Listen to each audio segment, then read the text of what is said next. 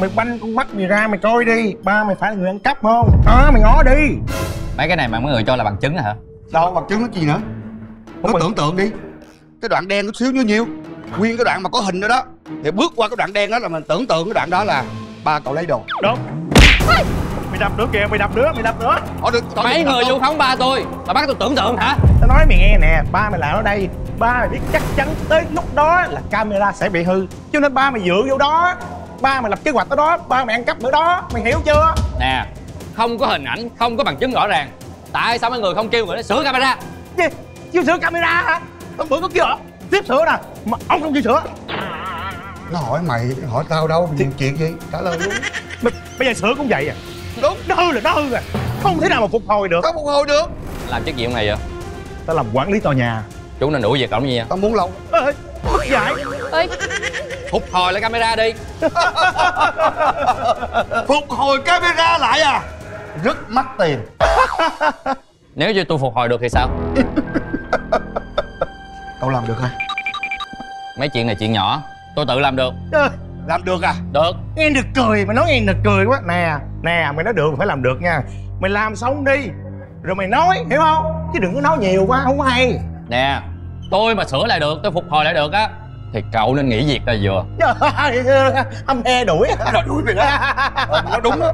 Không làm được gì hết trơn á. Ờ. Ở đây có nhiều cái bị mất lắm. Phục hồi được cái này phục hồi mấy cái kia giùm luôn trai con cần một cái máy tính. Rồi. Ờ nè nè nè chị có. Làm gì? Đưa cháu mượn. Con sẽ phục hồi ở đây? Ờ không không không không không. Đây không phải cho phục hồi.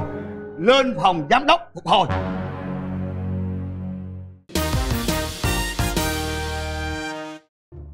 Con nhắm làm được không con? Dạ được ba đợi con xíu Ê, em em coi chừng em lỡ tay xóa mất mấy cái file công ty nha em. Chị yên tâm đi cái này nghề của em mà. Ờ.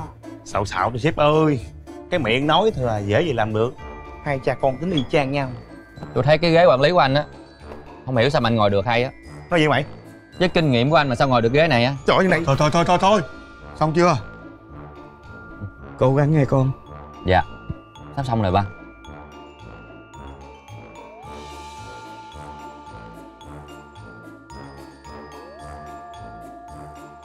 ờ file nó bị ẩn thôi. Cả hai camera tôi trách lại rồi đó. Hay quá. Ê, nó sáng lên rồi nè. Thấy vậy? Đây nè chú. Đó đó đó. Lúc này Ừ. lúc này trên tay chú vẫn còn cái đồng hồ nè. Đúng rồi. Xong rồi chú sóc chú sĩ lên. Ừ. ê khoan. Sao? cái đồng hồ của chú nó bị bung dây ra nè. Zoom zoom zoom lại. Đó đó đó đó. Chú thấy không? Ờ đúng rồi đúng rồi. Xong rồi lúc này chú quăng chú sĩ xuống. Ừ quăng nào thả thôi nói quăng mất đoàn kết. À dạ thả xuống. Đó cái đồng hồ của chú rớt xuống kìa. Rồi chú lấy cái chân của chú đá vô luôn kìa thấy không? Kỳ vậy ta chú đá trong chậu cây kìa. Trời ơi cái đồng hồ nhưng mà đá cái chân được. Vô ý chứ vậy rồi hiểu rồi.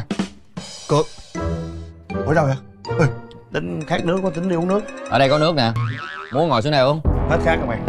Tôi nghe nói anh là người vu khống ba tôi lấy cái đồng hồ nhét vô chậu cây. Đi. đúng không thì mới mới mới mới đầu thì tôi, tưởng ờ, ba, ba, ba cậu lấy thì tôi nói vậy thôi còn không phải thì thôi thì ờ, bình thường gì đâu. Bình thường hả? Vu khống người ta mà bình thường hả? Thôi thôi thôi thôi, thôi khoan khoan. Cái này là hiểu lầm nhau thôi. Làm cái gì mà dùng từ vu khống nghe nặng nề vậy? Để tôi giải quyết cho. Đưa qua đi. Giờ vậy nè. Ông sĩ à coi như là à, tôi vô ý thôi. Coi như là phần lỗi nhỏ là do tôi. Phần lớn.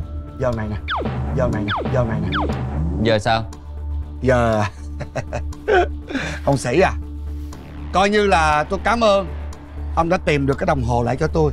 Ngay ngày mai tôi sẽ khôi phục lại chức tổ trưởng tổ bảo vệ cho ông. Được chưa? Không phải là ngày mai mà là hôm nay. Rồi hôm nay luôn hôm nay luôn. Hôm nay con muốn ba nghỉ việc ở cái tòa nhà này. Con nói gì vậy con không thể nào để cho người ta bôi nhọ danh dự của ba. Rồi xin lỗi cho qua chuyện vậy được. Ba con từng dạy cho con là không vì những đồng bạc lẻ mà để người ta coi thường mình đúng không ba? Nhưng mà nhờ những đồng bạc lẻ này Với cái chức tổ trưởng của ba Là ba đóng một phí cho con á. Ba yên tâm đi. Con sẽ có cách. Còn mấy người nữa? Anh anh anh. Tôi sẽ tìm quản lý cái tòa nhà này. Tìm tao chi mấy người phải bồi thường tiền danh dự cho ba tôi để kể cả tiền nghỉ việc của ba tôi. Trời ơi dễ ăn quá dễ ăn quá. Thế tao không chịu rồi sao? Trời ơi, đồ của ta mà cứ đồ đắp hoài. Sao vậy? Trời cái phòng này nó có phong thủy gì? Bây giờ chuyện đâu còn có đó. Tôi sẽ giải quyết cho cậu với ba cậu chuyện này được chưa? Được. Chú nói là chú phải giữ lời đó. Đó rồi. Con được hồn Còn sếp? Sếp hứa Sếp giải quyết. Được rồi không sĩ hồi nào giờ tôi có thất hứa đâu. Thôi kêu cháu nó về nó bình tĩnh đi. Chào sếp tôi về. Rồi. Dạ. Chú về ngày Tây Na Dạ. Rồi về đi. Còn Diện dạ. Đi về với ba. Đúng Dạ. rồi. Đưa nó về đi. Phải đi sau coi nó giùm. Coi trên đường nó có đập gì nữa không? Nó xạo nó tưởng tôi không giúp chơi nó. Ngon vô đây. Trời ơi đại trời nhìn nó lắm á sếp. Tại có sếp nhìn nó lắm á thì đây. Trời, trời ơi. Mày thích đập đồ đúng không? Nè đập đi ờ, Dạ Dạ laptop Laptop của con. Đi nào không đập. Dạ dạ dạ. Sao đè đồ cho ta đập? Đập hết cái này cái khác.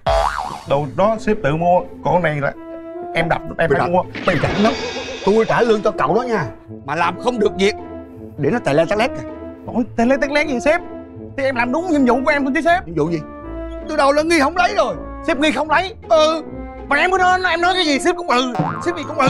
Sếp gì cũng ừ bây giờ sếp lắc lần hết tôi dạng như là tin quá nó đúng quá đúng tin không? cậu thôi. Dạng như là tôi làm chiều lòng cậu cho cậu đỡ buồn thôi. Chứ trong cái thâm tâm tôi không thể tin một cái con người này lấy đồ được. Nhưng mà cái phán đoán của cậu nó quá hồ đồ. Cậu quá hồ đồ cậu kêu người ta dàn dựng này cái đồ bây giờ người ta nổi giận kìa. Bây giờ lo nó cục tiền kìa. Ai trả? Trời ơi sếp bây giờ mình nói thì mình nói vậy thôi. Khi nào muốn chi mình chi. Thôi Không có được đâu Bây giờ mà không chi á rồi Con của chú sĩ vô quậy nữa đó. Cái gì? Ủa quậy tòa nhà là quậy hả? Báo công an bắt liền rồi đó. Quá hay. Lần đầu tiên tôi mới thấy cậu biết bảo vệ tài sản công ty. Trời ơi, em mà sếp. Lần đầu tiên tôi mới thấy cậu nói năng một cái gì đó hay ho. Trời ơi, em mà sếp. Được Rồi công nhận đẹp gái mà giỏi về chăm chỉ. Công nhận em thông minh ghê luôn nha. Cái thái độ sếp khác hẳn nha. Là đi từ hồi 6 giờ mấy ra khỏi nhà đúng không? Phải dậy rất sớm 5 giờ dậy rồi make up này kia mới đi gặp khách hàng cho người ta tin tưởng. Thắc mắc là tại sao 7 giờ rưỡi sáng mà khách hẹn ra khách ký hợp đồng? Em đã thương lượng với người ta từ khi nào? Không thể nào mà sáng sớm mà khách gọi được. Khách gọi tối hôm qua vô hotline công ty mình